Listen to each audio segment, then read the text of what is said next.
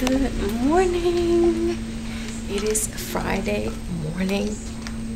It is a quarter after six. I got here at five, no, at 10 to six. I recorded a video for you all, but I didn't like it. Didn't like it.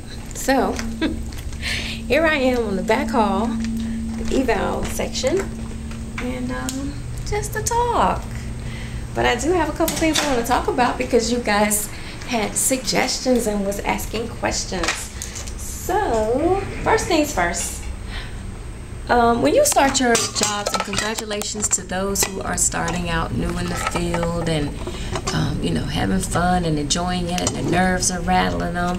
All that is really, really good because it's saying, I'm ready for this. Yes.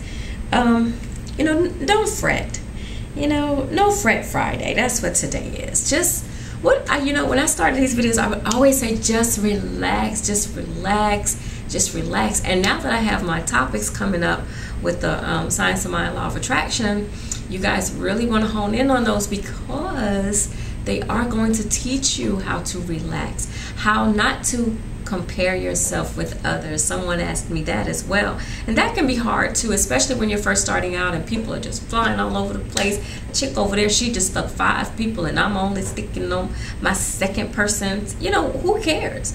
I just started. You got to remember, I just got here. Number one, I don't know what's in my eye.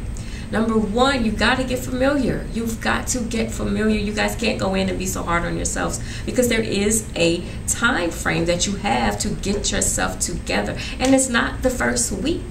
The first week, the first two weeks, that's your time to watch and observe your work and people you're working with. And, you know, things will come. But you have, you must do that. You must do those two things. You just can't go in and expect to be the bomb because you don't know if you're going to be the bomb. you know what I mean? That comes later.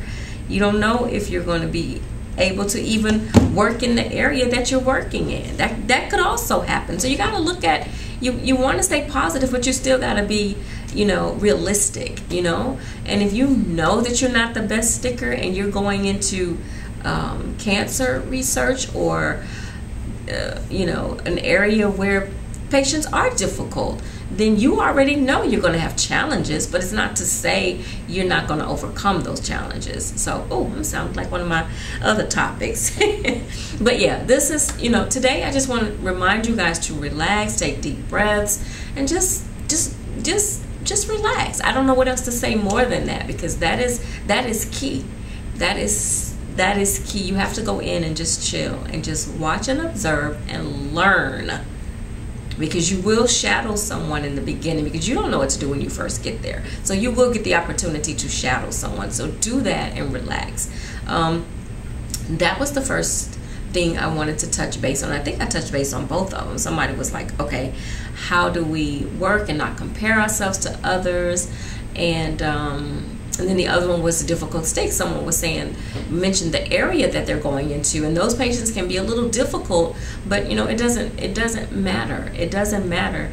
You want to treat every patient the same. You want to look at the patient that's sitting in your chair, neutral, just a neutral, neutral patient, not a hard stick, not a oh, it's got good veins. It's gonna be an easy stick. No, everybody that sits in my chair, I don't know what to expect until I touch them. I mean, I don't go out in the waiting room and look and be like, oh, I'm gonna call him because he looked like he has good things. I'm gonna call. No, you get who you get and you just work with it. But the number one thing is to relax, take deep breaths, and know that you know that you know. I used to say that a lot too. And the other thing, pick your poison. Pick your poison. Some areas like cancer research, they will only have butterflies or they will have them more than your straight needles. But pick your own poison. Don't let anyone tell you you have to use this or you have to use that. Now, when you first get to these places, please, by all means, do what they're doing. If they're using butterflies and you know you can get it with a straight vein, uh-uh. You got two weeks to shadow this person. Do what that person says do. If they're using straight needles, use straights. If they're using butterflies, use butterflies. Go with the flow, okay? If they're using straights and you feel more comfortable with the butterflies, then just say that and use the butterflies. But pick your own poison. That is so, so, so, so, so, so, so important. Don't let other people tell you how to stick. Doesn't feel good to you, don't do it. You guys heard that before, right? Same thing applies with these new jobs. finishing these externships, go internships, whatever it is you're doing, new wherever. Relax, take deep breaths, and pick your own poison. I think this this little topic was better than what I recorded earlier. You guys would have been so bored. Anyway, thanks to all my new subscribers. Thumbs up the video. Fridays are not usually like this, but this was really good. Yeah, I liked it.